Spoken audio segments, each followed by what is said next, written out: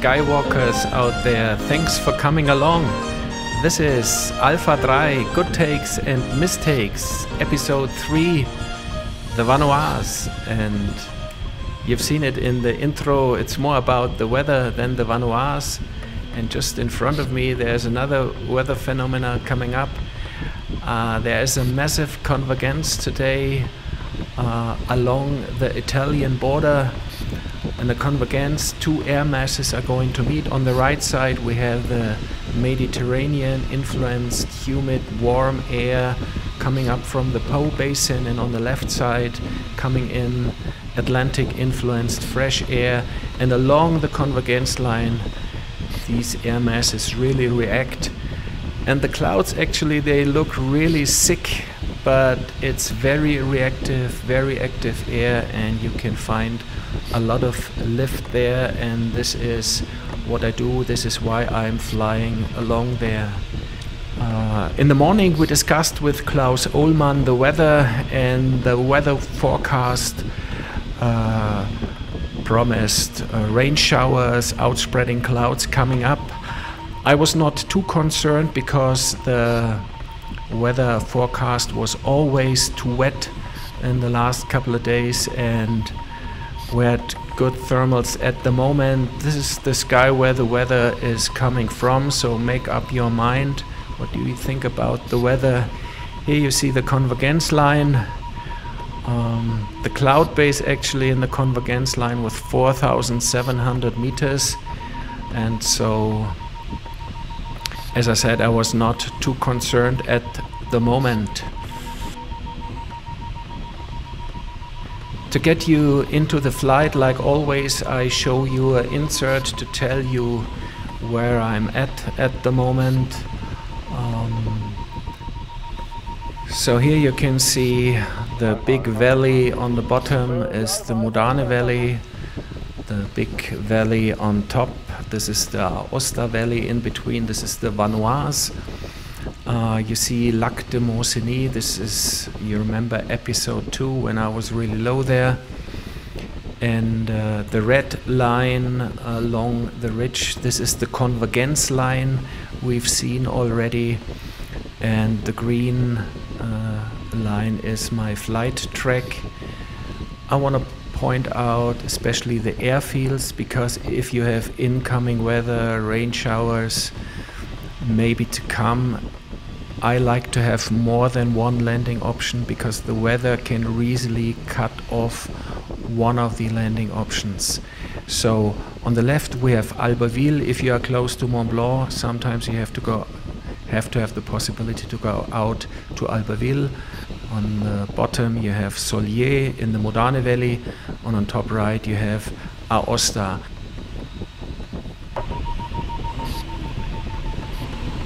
The cloud base is at 4,700 meters. This is unbelievable. The weather looks not too bad. I mean, the convergence line looks always sick. But to the west, it is not too bad. I should have stayed actually along the convergence line, but because of the Gran Paradiso airspace issue, I decided to go to the Mont Blanc I, I think this is a good turning point for me and there are still clouds to come up so it looks good to go there. The wind speed is picking up at the moment so we had strong westerly winds coming in and uh, but at that moment I'm not really concerned I go for these clouds and they look not too bad.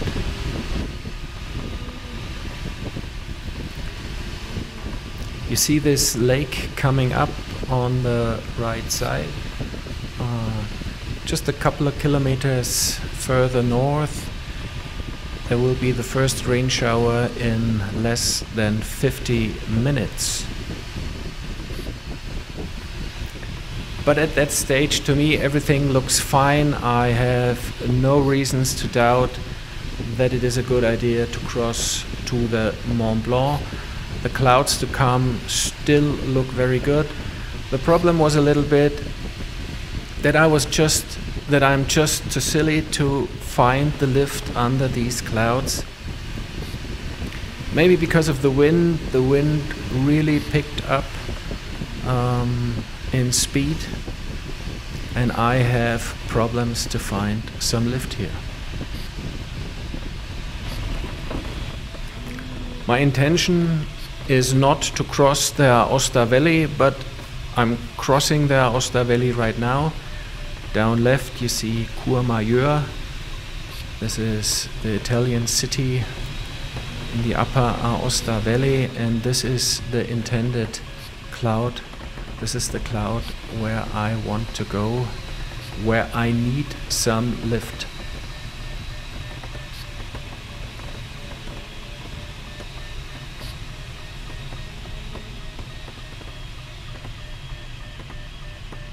This cloud is on the border to Switzerland, so I'm already close to the valleys. The pyramid on the left side, this is the Grandes Jorasses, one of the one of the three great north faces of the Alps, Eiger, Matterhorn, the Grandes Jorasses. Left of the Grandes Jorasses is the Mont Blanc and finally I can find some lift here and you you see the sky. It really turned a bit darker. So I have the feeling that I have to speed up in order to get back home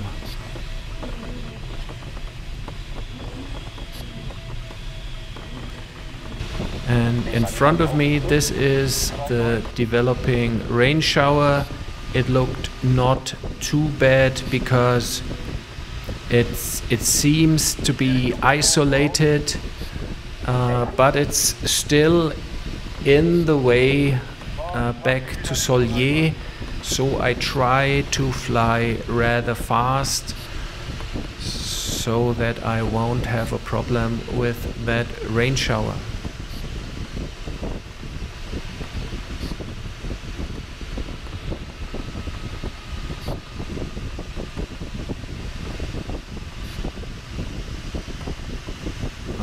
Crossing the uh, Aosta Valley again.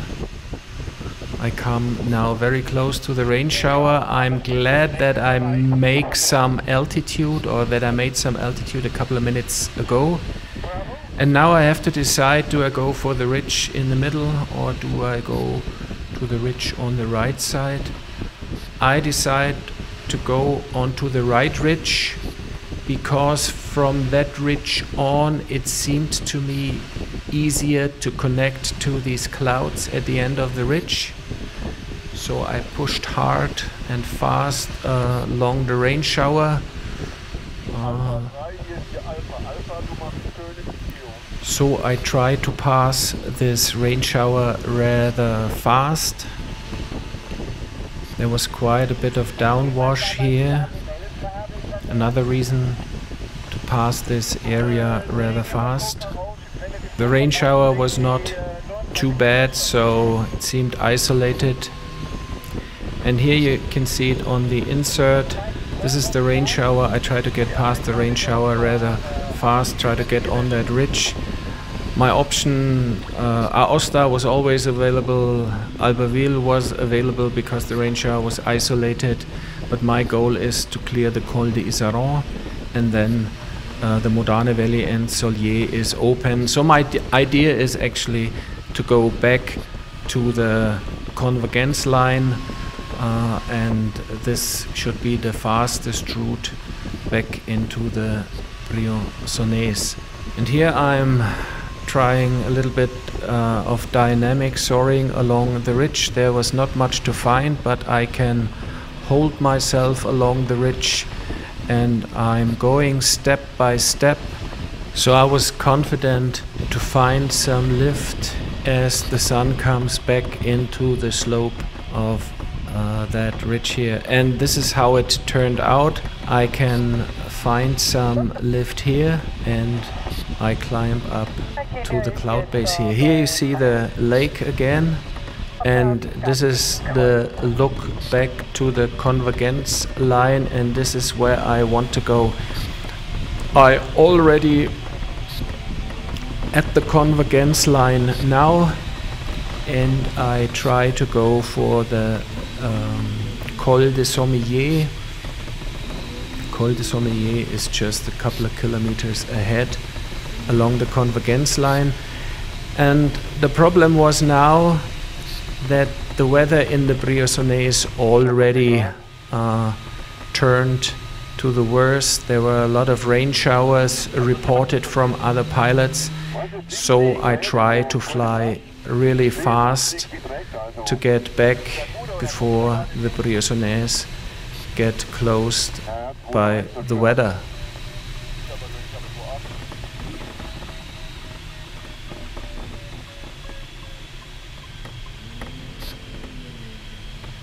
A senseless turn.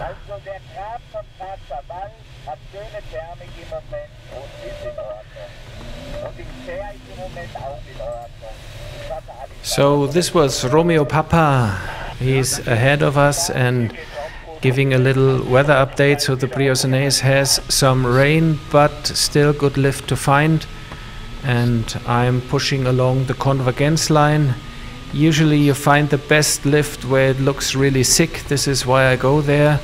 Try to find some lift as I cross the Col de Sommeiller. Uh, you see it still looks unsafe a little bit. It's hard to predict what the weather is doing, so I try to be as fast as possible and I try to be on the other side as high as possible just to leave all the options on the table. This is why I try to get some lift here. This is above Bardonecchia and uh, going high in Bardonecchia makes it easier for the next step. Here in front of me you can see the Rochebrune. This is the pyramid above my nose of the glider and there's a rain shower coming up and I want to go to the Rochebrune and just press along the rain shower uh, right of me and it looks not too bad so this was a good compromise not to go too far away to the left and uh, just be fast on the way back to Serres La Bâtie.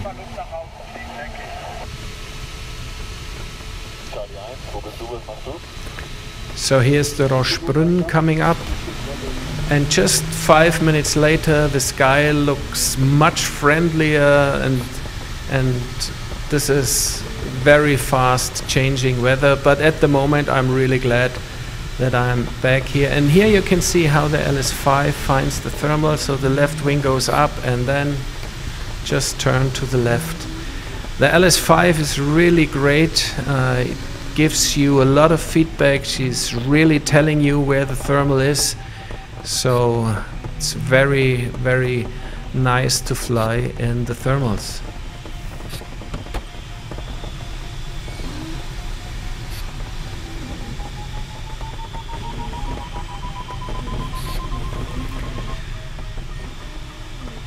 So I go up to the cloud base and try to get closer to the airfield to judge the weather. On the right side you can see the Lac de Serre-Ponçon coming up and this was my goal. I want to go to the Lac de Serre-Ponçon because from there you can see the weather towards Serres La Bâtie and this is the place where I want to decide if I go a little bit further south or if I turn back to the airfield.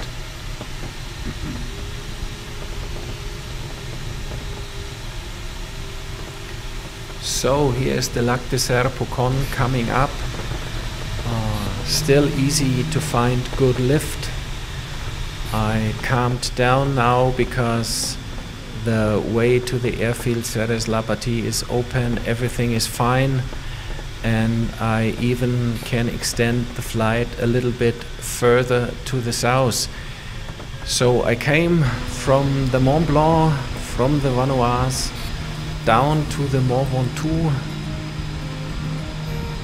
and it was another great flight. I had really intense moments in this flight due to the weather, but actually because of the weather information from all the other pilots um, and some good decisions and some bad decisions, I could make my way back to the airfield. Uh, I'm thinking at the moment to those who are flying in the southern hemisphere to you lucky ones, always great flights and safe landings. And thanks for walking the French skies with me. This is Alpha 3.